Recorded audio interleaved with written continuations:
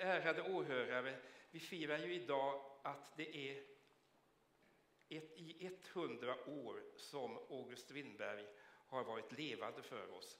För en del av oss på, ett, på, på det okulta sättet, vi känner vibrationerna från hans kista på Norra kyrkogården ibland när någonting händer och vet hur han skulle ha reagerat.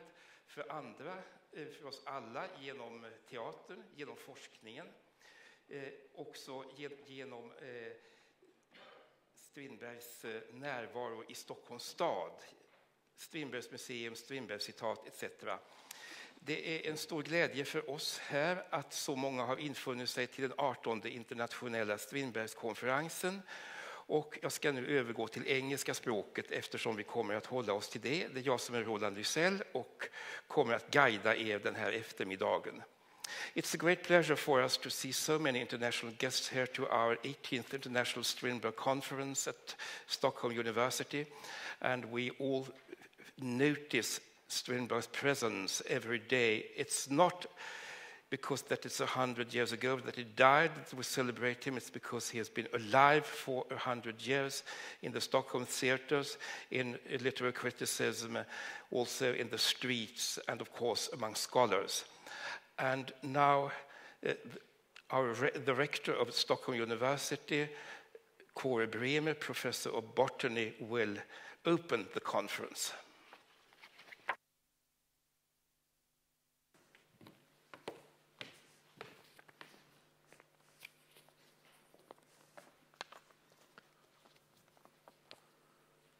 Ladies and gentlemen, it is a great pleasure for me to welcome you to this International Strindberg Conference arranged by Stockholm University and Strindbergssällskapet. I am especially pleased to welcome uh, this, the many international guests that I understand are present here today and have come to Stockholm to join this conference.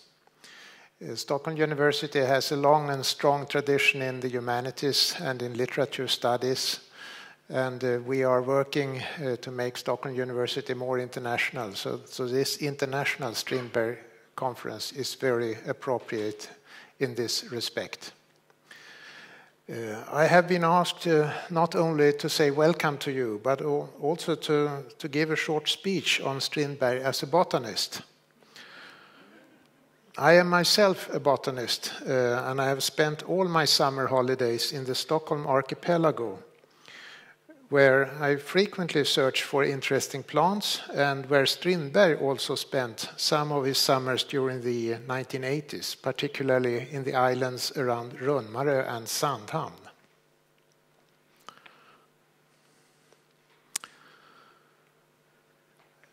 There are two widely different aspects of Strindberg's interest in botany and plants. The first is his scientific studies of plants, for example in Jardin des Plantes. The second is his frequent reference to plants in his essays and novels, especially from the Stockholm archipelago, such as Skärkarlsliv, Hemsöborna, and I havsbandet.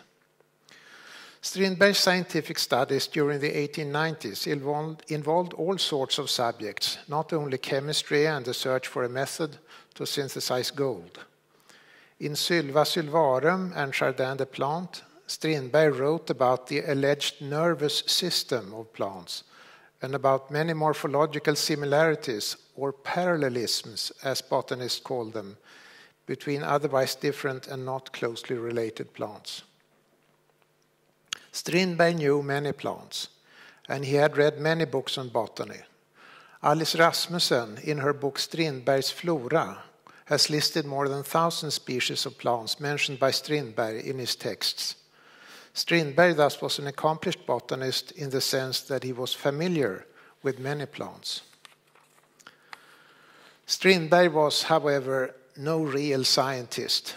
For, examples, for example, plants do not have nervous systems of the type found in animals, and Strindberg's arguments that the sieve cells, which are involved in transportation of nutrients in the plants, are nerve cells, have no ground whatsoever.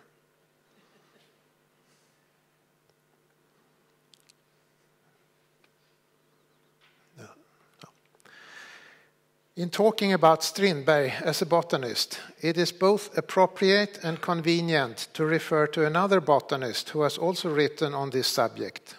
Sten Selander worked mostly as a writer, journalist, and theater critic, and he was elected member of Svenska Akademin in 1953.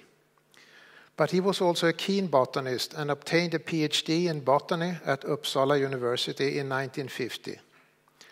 As a young man, Selander studied literature at Stockholm University in 1922, at that time Stockholms högskola. During these early studies, Selander presented two papers about Strindberg, the scientific elements in Strindbergs I havsbandet and Strindberg and the sciences during the Inferno period through 1896. The two manuscripts are preserved in the National Library of Sweden. They were never published by Selander, but the second manuscript was printed in Strindbergiana in 2009.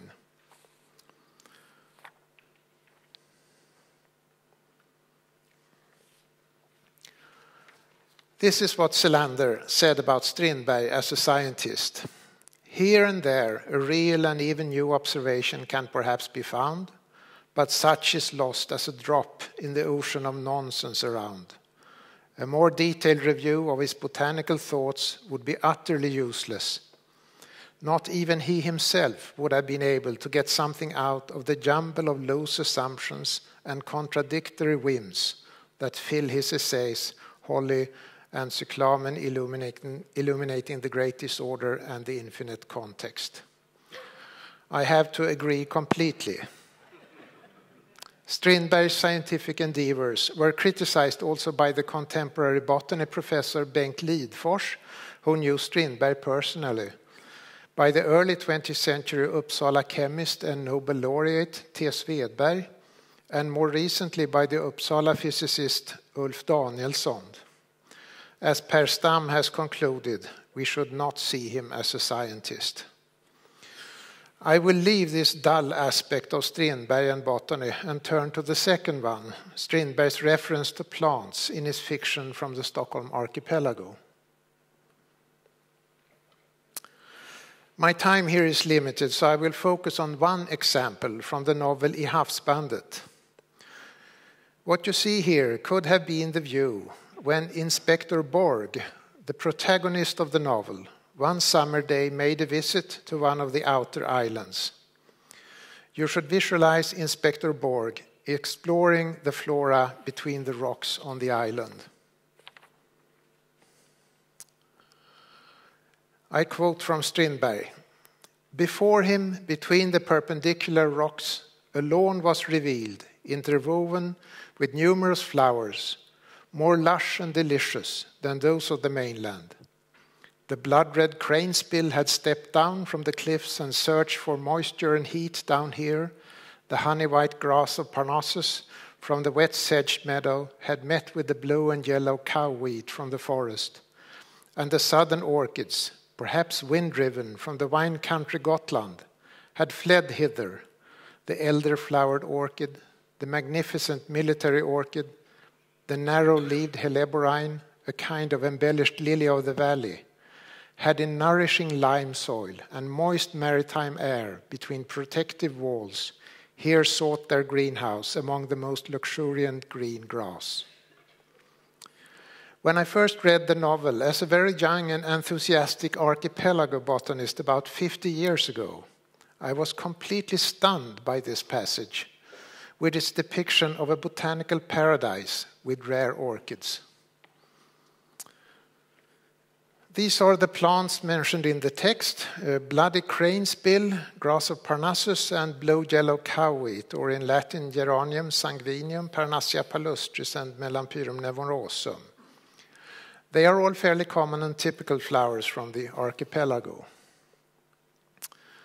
The orchids, however, in particular excite the curiosity of the botanist. Elder flowered orchid, military orchid, and narrow leaved helleborine or Dactyloritza latifolia, Orchis militaris, and Cephalanthera longifolia. The first one to the left, Adam and Eve in Swedish, due to its double color forms, is common in the archipelago. The Helleborine to the right is a very rare plant, although it can be found on Runmarö where Strindberg spent a few summers. But what about the military orchid? I will come back to this one, but I must first return to Sten Selander. Apparently, he was as thrilled as I was because he chose to comment upon exactly this same passage, which I myself best remember from the whole novel. In his unpublished paper on the scientific elements in Strindberg's I havsbandet, Sten Selander wrote, This meadow is unlike so much else of the book's scientific ballast, really seen with his own wonderfully receptive eyes the depiction of such a striking reality that one is, is of such a striking reality that one is almost inclined to believe there is a factual basis for the unexpected appearance of Orchis militaris, which is not known as a member of our island flora. The military orchid, Orchis militaris, with its individual flowers looking like little soldiers with helmets, grows on the islands of Gotland and Öland and in southernmost Sweden, but not in the Stockholm archipelago. So, why is it included in Strindberg's description of Inspector Borg's botanical paradise island? As I see it, there are three possible explanations. First, it is at least theoretically possible that Strindberg actually found the military orchid on Runmarö or on some of its nearby islands. It seems to me, however, extremely unlikely. If it did grow there during the 19th century, other botanists could hardly have missed it and they would have published such a discovery immediately. Second, it is possible that Strindberg saw and by mistake identified some other orchid on Runmarö as the military orchid. There are similar species in the archipelago not mentioned by Strindberg in any of his texts. This is perhaps the most likely explanation, and even the most experienced botanists make misidentifications, so there is no shame on Strindberg for such a mistake. There is, however, a third and not entirely impossible explanation. Strindberg had a botanical library with floras and handbooks. Maybe he looked up the orchids in the flora and added, and added the southern military orchid, perhaps wind driven from Gotland, as he expressed it, to add extra excitement to his description of the island. Intentionally or by mistake, he certainly succeeded in exciting both Sten Selander and myself. There is an epilogue to this story. In the mid 1980s, nearly 100 years after Strindberg spent his summers in the archipelago and wrote I havsbandet, the military orchid was discovered on Utö in the Stockholm archipelago. Moreover, botanical experts assume that the military orchid has been wind dispersed to the archipelago from Gotland. I suspect the botanical experts assume this without any knowledge whatsoever of Strindberg's, in this respect, prophetic text. The addition of the military orchid to the flora of the Stockholm archipelago is certainly an appropriate tribute to the force and quality of Strindberg's fiction. With this observation, I wish you all a very interesting and successful conference.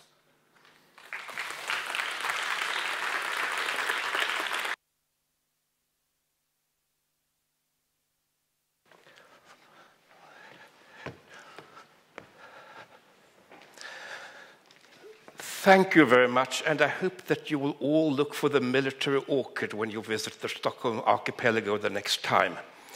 Um, now I want to introduce our conference committee. If you could please rise so that everyone sees you. Katarina Ek Nilsson from the Strindberg Society, uh, Willmar Sauter, Theatre and Dance Studies, uh, Per Stam, The Collected Works of August Strindberg, David Gedin, Literary Studies, the Uppsala University, and our secretary Karin Aspenberg from Literary Studies, University of Southern Denmark, and also University of Stockholm, and possibly University of Karlstad soon. Uh, our conference hosts are Karin Claesson, Jonas Eklund, Olga Engfeldt, Ulrike Geiger, Ludwig Schmitz, Andreas Wahlberg. And I want to thank uh, those who have given us generous support. That is Riksbankens jubileumsfond, Vetenskapsrådet, Kungliga Vitterhets-, historie och antikvitetsakademin, Humanistiska fakulteten at Stockholm University, and we also thanks the City of Stockholm, the Strindberg Museum, and Strindbergs Intima Theater, Strindberg's Intimate Theater. Um, our next point on the program is uh, Professor Gunnel Eng Engwall, Chair of the Collected Works of August Strindberg, and Professor French, who, who, will, who, who will tell us a few, a few pieces of news. Please.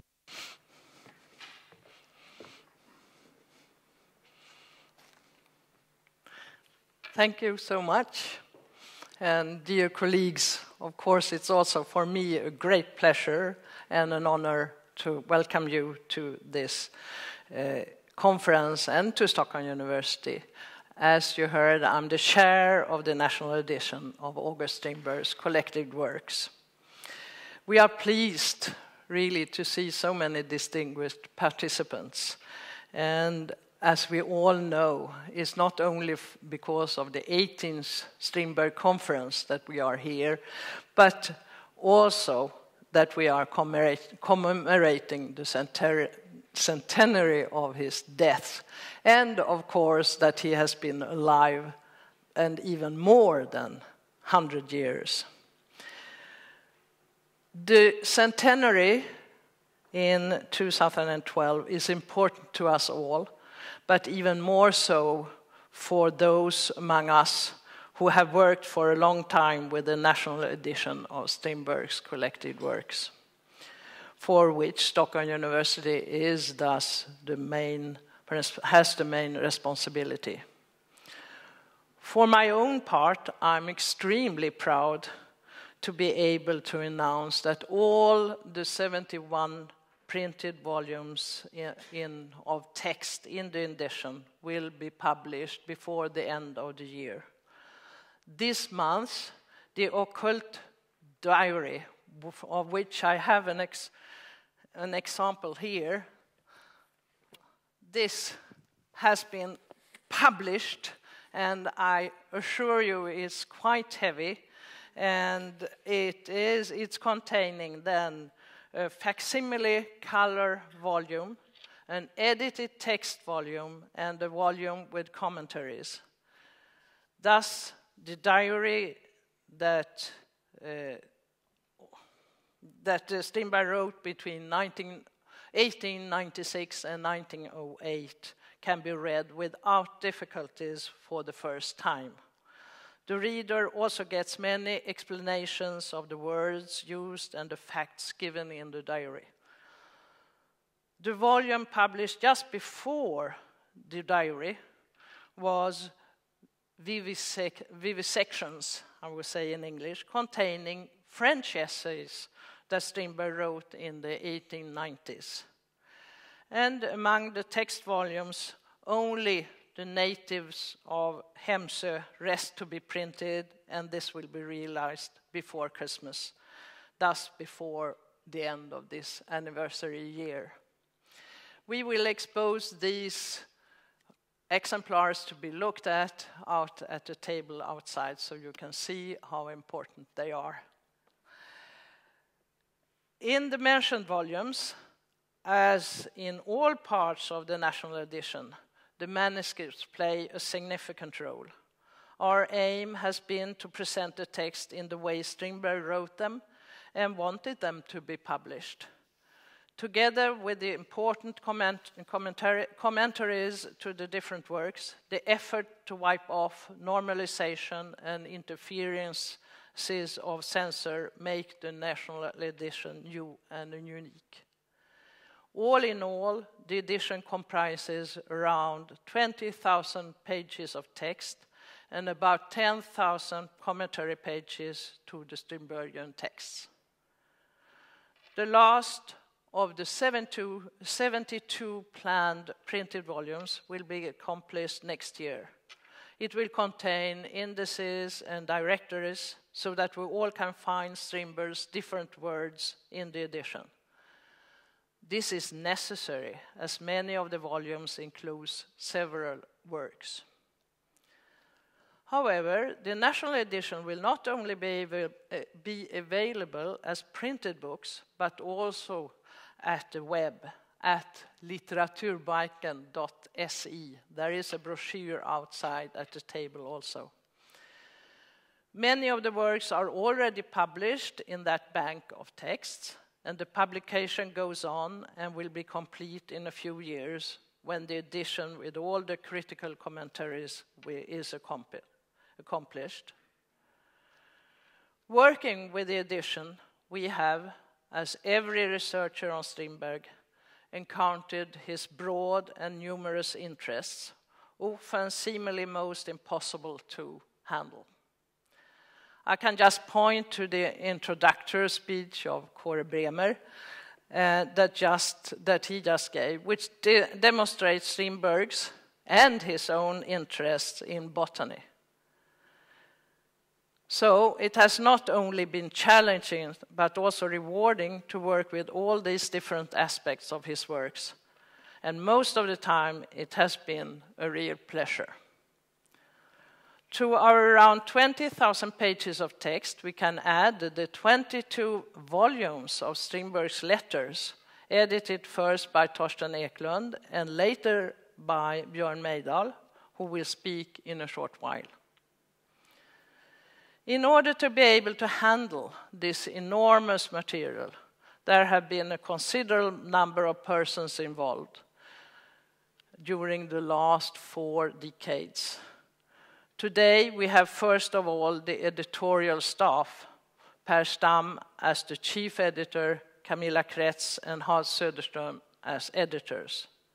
They organize the work, make the plans, and work themselves hard on the text to be published.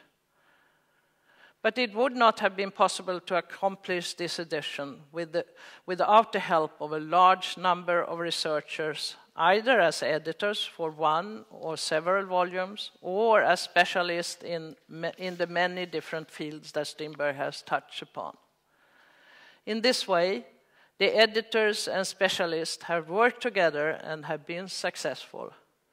During the conference, you will have the opportunity to listen to several of the researchers engaged in the editorial work.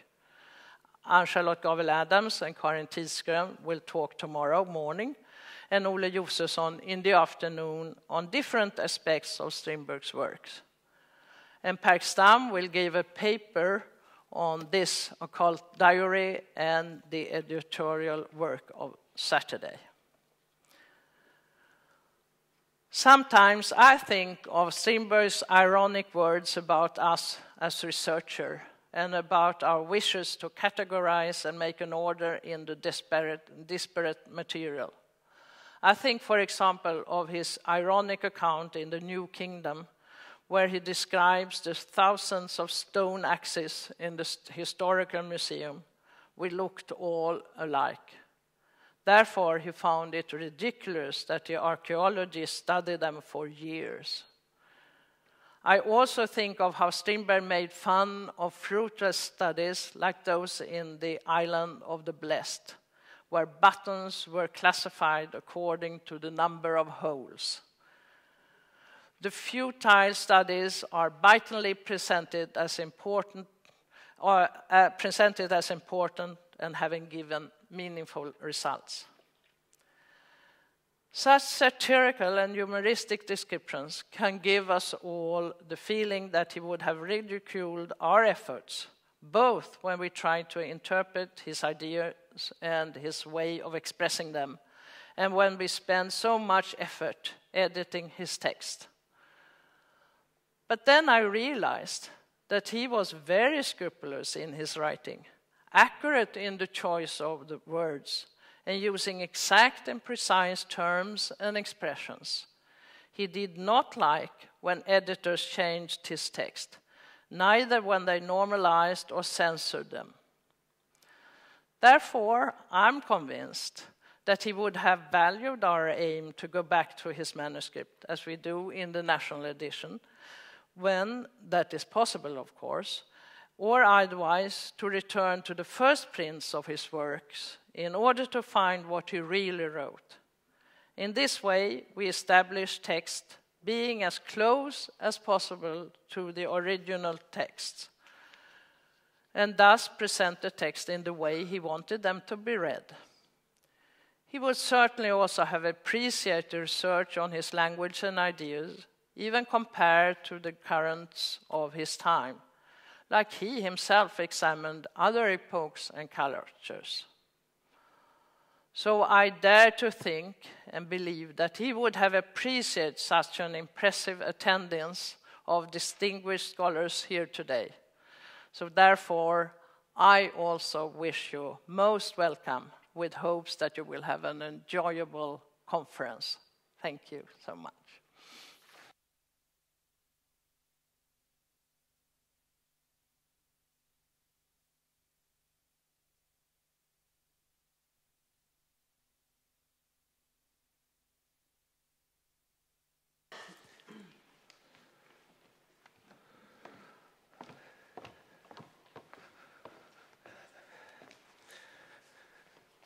Thank you. Great news. Litteraturbanken.se if this is too heavy for you to bring back home. Uh, our, ne uh, our, next uh, few words come, uh, come from our co-organizer. It's not only the, the, Stockholm University that organizes the, this conference, it's also the Strindberg Society and now, Mrs. Katarina Engvall, Chair of the, of the Strindberg Society, the floor is yours.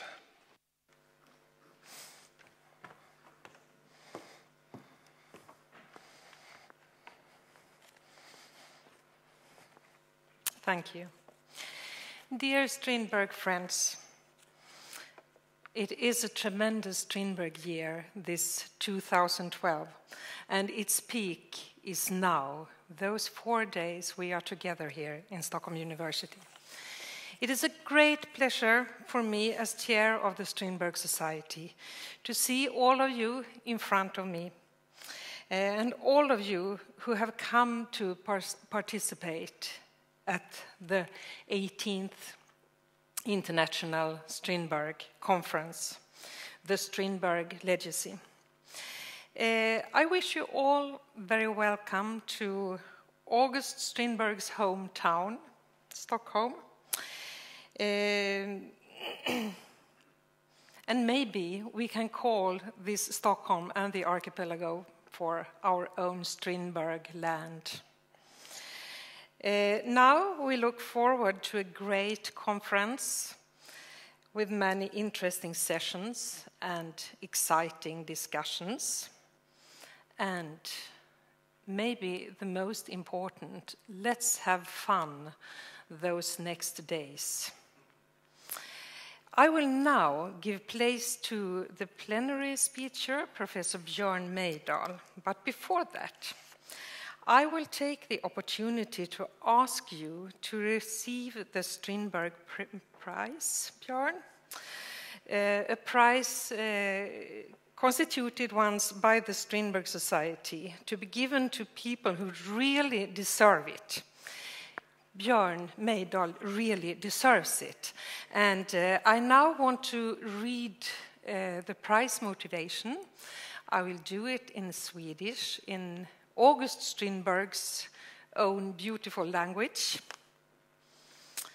Björn Meidal har av Strindbergssällskapet utsetts till 2012 års mottagare av Strindbergspriset för sina framgångsrika insatser som Strindbergsforskare, utgivare av Strindbergs brev, inspirerande föreläsare och under många år en av våra viktigaste Strindbergsambassadörer. Våren 2012 ger Björn Meidal dessutom ut det blivande standardverket Strindbergs världar, både en populär modern biografi och en bred forskningsöversikt. Ett rikt bildsatt praktverk i samarbete med fotografen Bengt Vanselius. Björn Meidal är professor i litteraturvetenskap vid Uppsala universitet. Bland hans arbeten bör framhållas doktorsavhandlingen Från profet till folktribun, Strindberg och Strindbergsfejden 1910 till 12 som starkt bidrog till att förnya Strindbergsforskningen. Sedan dess har han gjort en framstående insats som redaktör för August Strindbergs brev, del 16 till 22, 1989 eh, till 2001 och har även publicerat August Strindbergs kokbok 1998 och God dag mitt barn, berättelsen om August Strindberg, Harriet Bosse och deras dotter Ann-Marie 2002. Dessutom har han sammanställt antologierna Vänligen August Strindberg, Ett år, ett liv i brev tillsammans med Carl Olof Johansson 2000 och Katten i svensk poesi 2002 samt författat ett stort antal artiklar. Han har också medverkat i utgivningen av samlade verk som ledamot i redaktionskommittén och som volymredaktör för Tal till svenska nationen, Folkstaten, Religiös renässans, Tsarens kurir.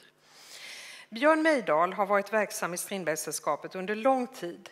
Han tog plats i styrelsen 1984 och verkade som ordförande mellan 1996 och 2008.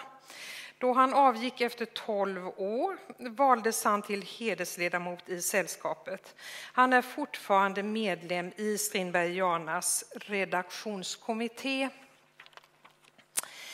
Uh, this has already been officially announced, but this is the moment uh, to ask you, Björn, to step forward and receive your prize.